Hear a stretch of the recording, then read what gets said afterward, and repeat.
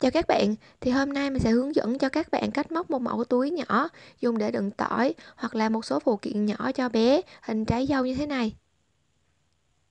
Ngoài ra thì trên cuốn lá mình có cài thêm một sợi dây để đeo cho tiện lợi. Đây, mẫu túi như thế này. Thì dụng cụ mình gồm len miêu cô tông, màu đỏ dùng để móc thân của trái dâu và màu xanh dùng để móc phần lá. Kim móc mình sử dụng kim móc 3.0mm. Kéo cắt len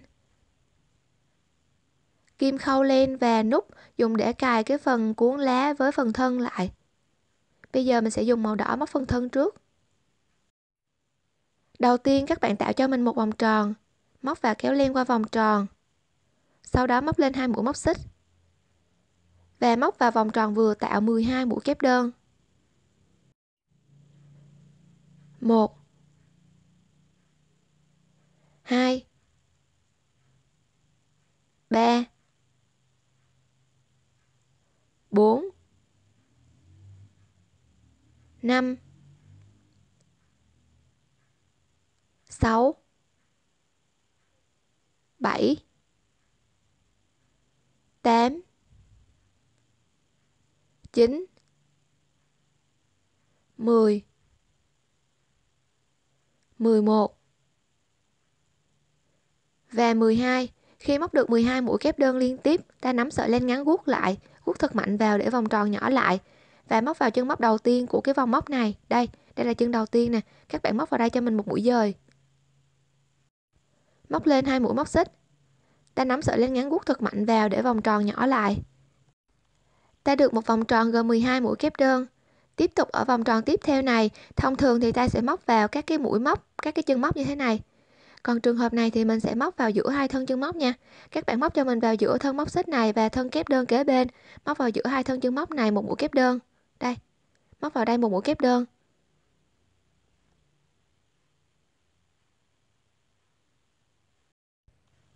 Tiếp tục chính giữa của hai thân chân móc kế bên này. Đây, hai thân chân móc kế bên này. Móc cho mình vào chính giữa của hai thân chân móc này hai mũi kép đơn. Đây, chính giữa này. Móc vào đây hai mũi kép đơn.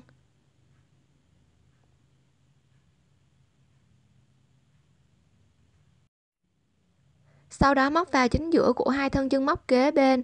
Móc vào chính giữa của hai thân chân móc kế bên này một mũi kép đơn.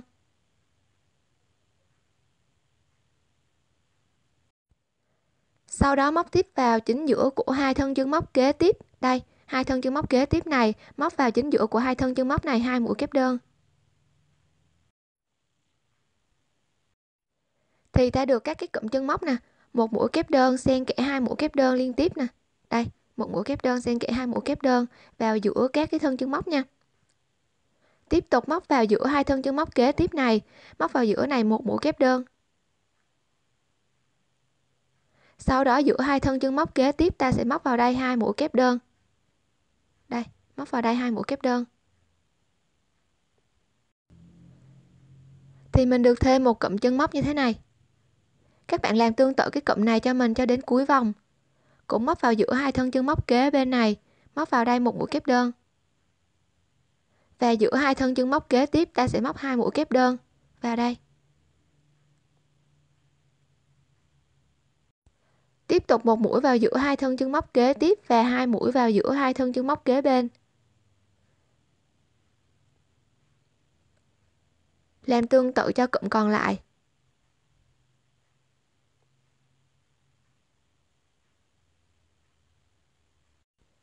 Khi móc đến cuối hàng thì ở cái vòng móc thứ hai này ta sẽ được 6 cụm chân móc liên tiếp với nhau. 6 cụm chân móc này liên tiếp với nhau nè. Đây. Tiếp tục từ đây các bạn móc cho mình vào chân móc đầu tiên của vòng móc này một mũi dời. Móc lên hai mũi móc xích. Thì cái hàng móc thứ hai này nó sẽ giúp cho cái phần túi của mình nó có độ cúp lại nè. Đây, cúp lại như thế này. Và ở vòng móc thứ ba này ta cũng móc vào chính giữa của hai thân chân móc nha móc cho mình vào chính giữa của thân móc xích này và chân móc kế bên này nè. Đây, móc vào đây cho mình một mũi kép đơn. Sau đó khoảng cách giữa hai thân chân móc kế tiếp. Đây, cũng móc cho mình vào chính giữa của hai thân chân móc kế tiếp này một mũi kép đơn. Sau đó chính giữa của hai thân chân móc kế tiếp sẽ là chính giữa của hai thân chân móc cùng một khoảng trống ở phía dưới nè. Đây, vào chính giữa này, các bạn móc cho mình vào đây hai mũi kép đơn. Tương tự chính giữa của khoảng trống kế tiếp này sẽ móc vào đây một mũi kép đơn. Và chính giữa của hai thân chân móc kế bên, hai thân chân móc này vào chính giữa móc một mũi kép đơn. Thì cái chân móc thứ ba sẽ là chân móc nằm chính giữa của hai thân chân móc cùng một khoảng trống ở phía dưới á. Móc vào đây cho mình hai mũi kép đơn.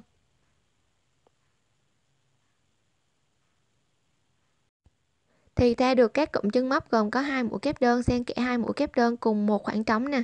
Đây. Và cái phần thêm mũi ta cũng thêm vào chính giữa của hai cái thân chân móc cùng một khoảng trống ở phía dưới á. Các bạn làm tương tự cho mình đến cuối vòng. Cũng móc vào từng khoảng cách là một mũi kép đơn. Khoảng cách kế tiếp một mũi kép đơn. Thì cái mũi móc thứ ba sẽ đâm kim vào chính giữa của hai thân chân móc cùng một khoảng trống ở phía dưới nè đâm kim vào đây và móc hai mũi kép đơn. Làm tương tự đến cuối vòng, thì hai mũi móc đầu tiên sẽ nằm ở chính giữa của hai thân chân móc liên tiếp. Và chính giữa của hai thân chân móc cùng một khoảng trống ở phía dưới thì móc vào đây hai mũi kép đơn.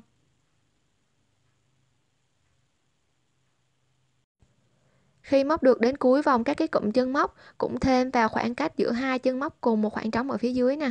Đây, thì tiếp tục móc cho mình vào chân móc đầu tiên của vòng móc này một mũi dời. Móc lên hai mũi móc xích. Tương tự móc vào khoảng trống của cái thân chân móc xích này và mũi kép đơn bên cạnh, móc vào đây một mũi kép đơn. Chính giữa của hai thân chân móc kế tiếp, ta sẽ móc một mũi kép đơn chính giữa của hai thân chân móc kế bên cũng móc cho mình một mũi kép đơn. Và chính giữa của hai thân chân móc kế bên sẽ là hai thân chân móc cùng một khoảng trống ở phía dưới nè. Đây, móc vào đây cho mình hai mũi kép đơn.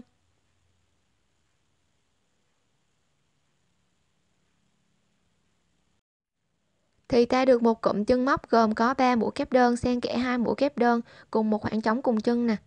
Tiếp tục các bạn làm tương tự cho mình. Ba chân móc liên tiếp mỗi chân móc ta sẽ móc vào chính giữa của hai thân chân móc liên tiếp.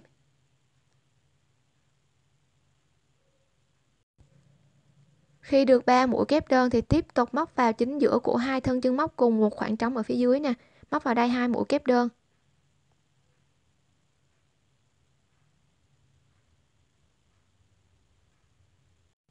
Thì mình được một cụm chân móc gồm có 5 mũi móc như thế này.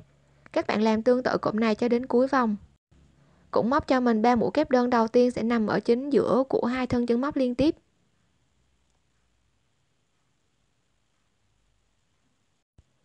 Và hai chân móc cùng một khoảng trống kế tiếp sẽ móc vào chính giữa của hai thân chân móc này. Và làm tương tự cho đến cuối vòng.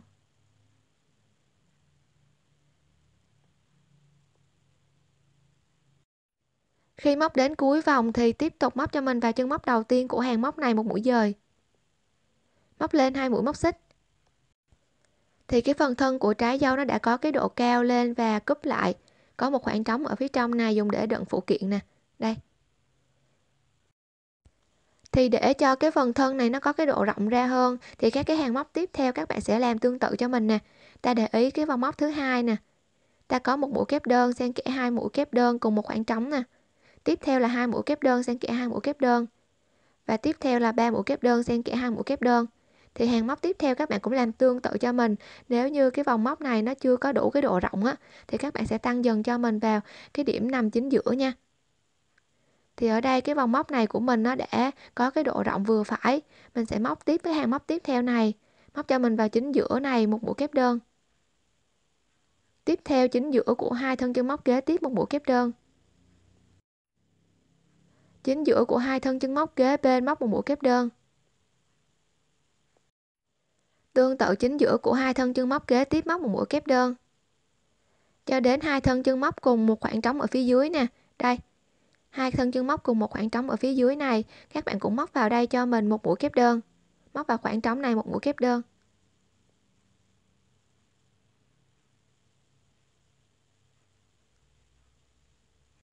Sau đó qua khoảng trống của hai thân chân móc kế tiếp móc vào đây một mũi kép đơn chính giữa của hai thân chân móc kế tiếp móc một mũi kép đơn.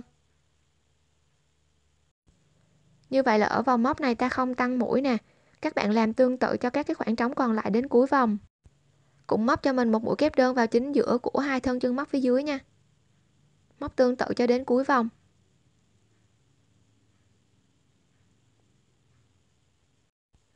Thì cái điểm nằm chính giữa của hai thân chân móc cùng một khoảng trống nè, các bạn cũng móc vào đây cho mình một mũi kép đơn thôi nha sau đó làm tương tự cho các khoảng trống còn lại. Sau khi móc đến cuối vòng thì tiếp tục móc vào chân móc đầu tiên một mũi dời. Móc lên hai mũi móc xích. Thì mình vừa hoàn thành được một phần hai thân của trái dâu nè. Đây.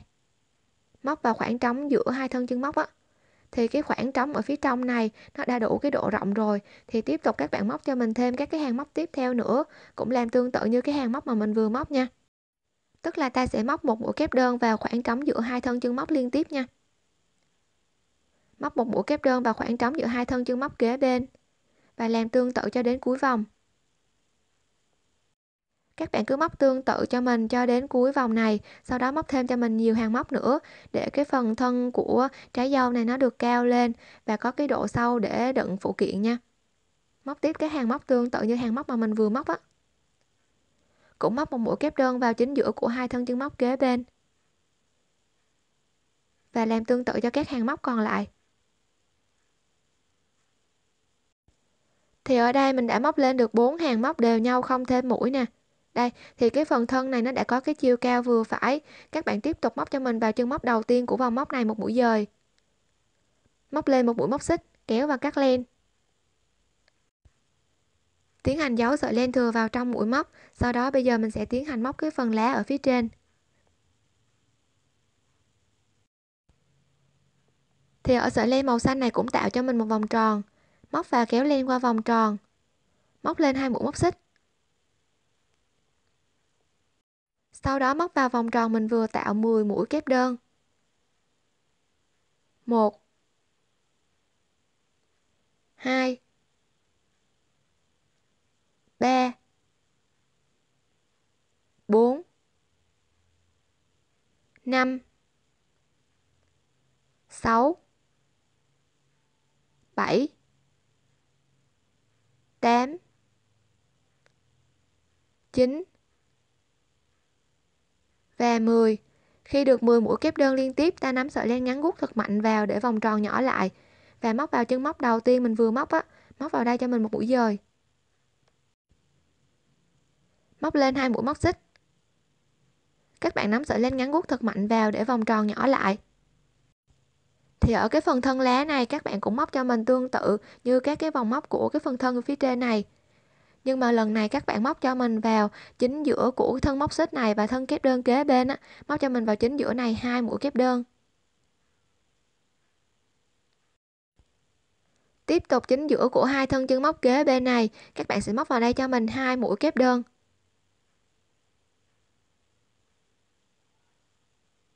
Chính giữa của hai thân chân móc kế tiếp cũng móc cho mình hai mũi kép đơn.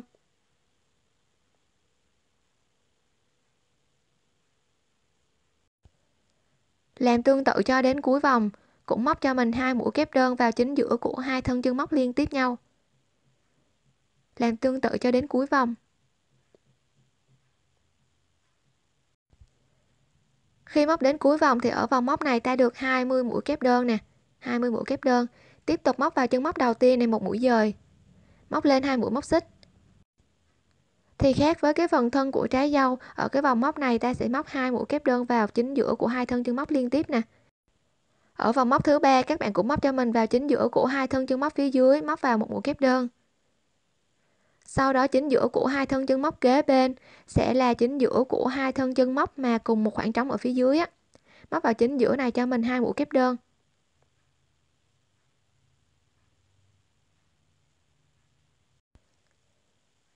Tiếp tục hai thân chân móc kế. Tiếp này các bạn sẽ móc cho mình vào chính giữa chính giữa của hai thân chân móc này.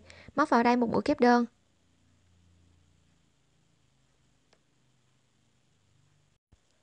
Sau đó khoảng cách của hai thân chân móc kế tiếp sẽ là hai thân chân móc mà cùng một khoảng trống ở phía dưới móc vào đây cho mình hai mũi kép đơn.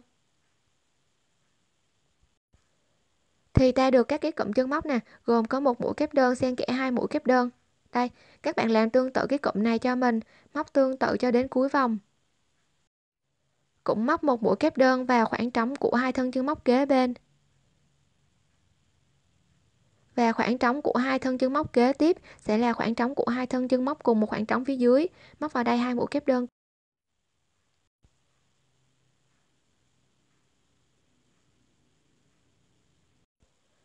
khi móc được các cái cụm chân móc cho đến cuối vòng, tiếp tục móc vào chân móc đầu tiên của vòng móc này một mũi dời. Móc lên hai mũi móc xích.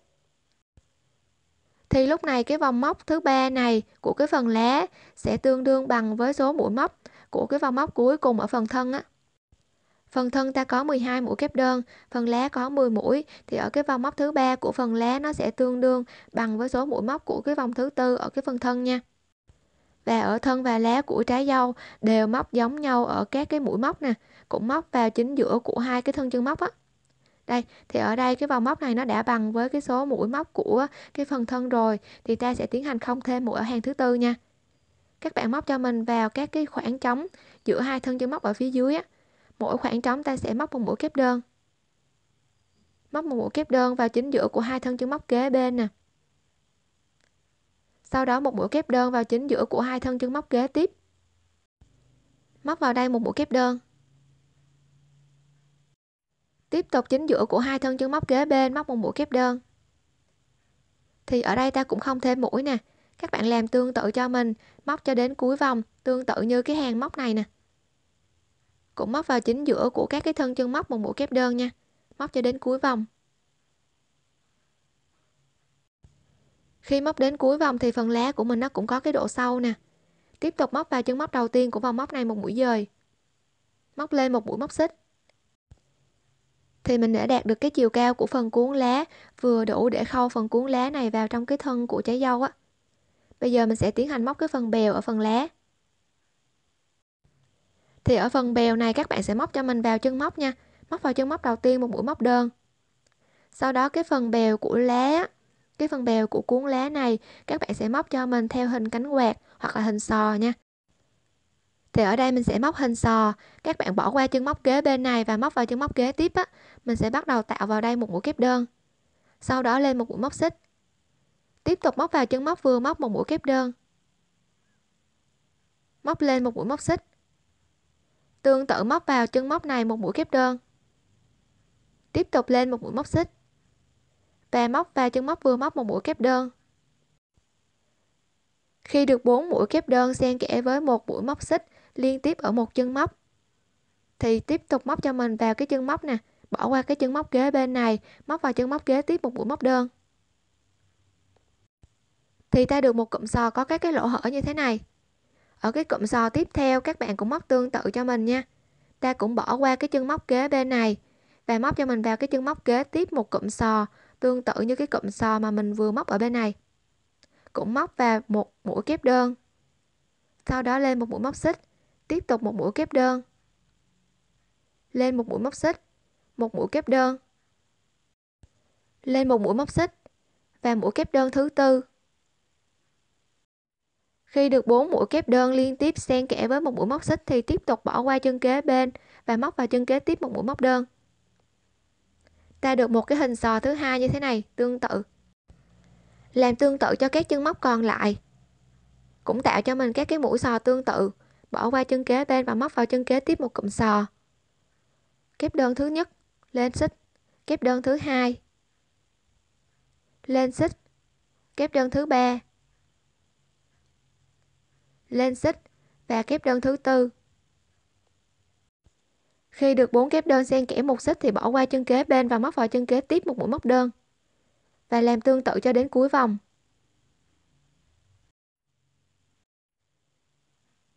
Cũng tạo cho mình các cái con sò tương tự như cái con sò mà mình vừa móc nha. Khi móc được các cái mũi sò cho đến cuối vòng nè, thì tiếp tục móc cho mình vào chân móc mũi đơn đầu tiên mà mình gây nên á, móc vào đây một mũi dời. Móc lên một mũi móc xích kéo và cắt len. Thì ở đây các bạn sẽ kéo cho mình sợi len thừa dài ra để mình dùng cái đoạn len thừa này may vào trong cái phần thân của dâu nha. Ta sẽ dùng kim khâu để khâu lại.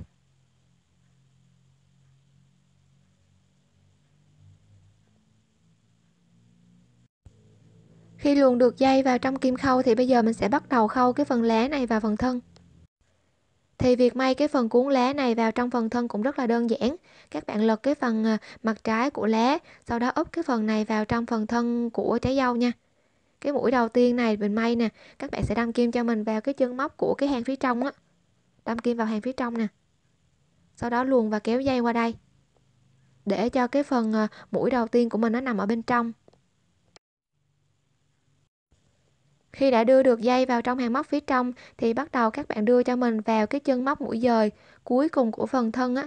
Đây, đâm kim cho mình vào chân móc này, đồng thời đâm kim vào chân móc đầu tiên của cái phần lá đây, đâm kim vào đây, sau đó luồn kim qua hai thân chân móc. Tiếp tục đâm kim vào chân móc kế bên của phần thân và chân kế bên của phần lá, đâm kim vào hai chân móc này, sau đó kéo lên.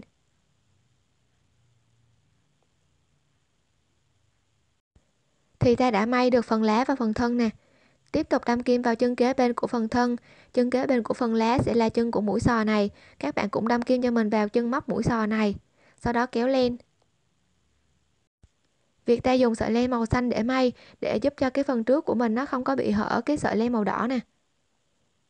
Tiếp tục đâm kim vào chân kế bên của phần thân và chân kế bên của phần lá, sau đó kéo lên.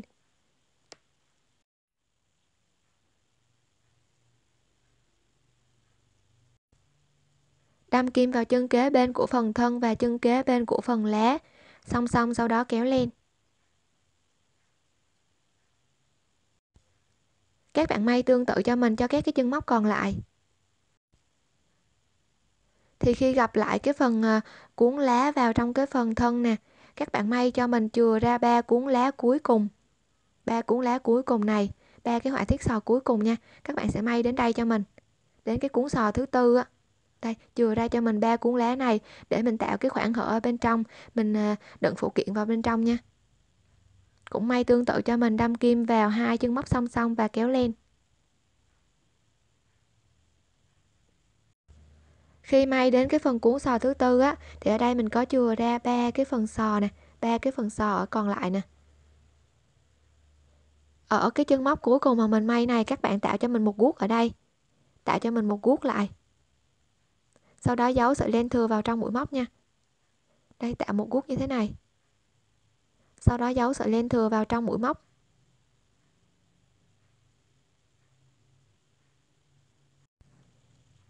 Sau khi may hoàn tất phần cuốn lá vào trong phần thân và giấu sợi len thừa, thì ở mặt trước của trái dâu các bạn sẽ may cho mình một hạt nút nằm ở chính giữa khoảng trống này. Và cái điểm nằm chính giữa của phần nút nó sẽ tương đương nằm chính giữa của cái phần ờ, sò thứ hai ở cái phần lá mình chừa ra. Sau đó móc cho mình một sợi dây móc xích dài vừa đủ để mình luồn vào cái hàng móc thứ hai của phần lá nè. Thì hai đầu dây mình sẽ cột guốc lại vào mặt trong của uh, của túi để cho cái phần guốc này nó không có bị hở bên ngoài nè. Giấu vào trong như thế này và ở phần nút này ta sẽ dùng mũi sò thứ hai của ba mũi sò mình chừa ra. Các bạn à, cài lại cho mình vào cái à, lỗ hở chính giữa này. Đây. Thì mình vừa hoàn tất được một mẫu túi hình trái dâu xinh xắn như thế này. Chúc các bạn thành công!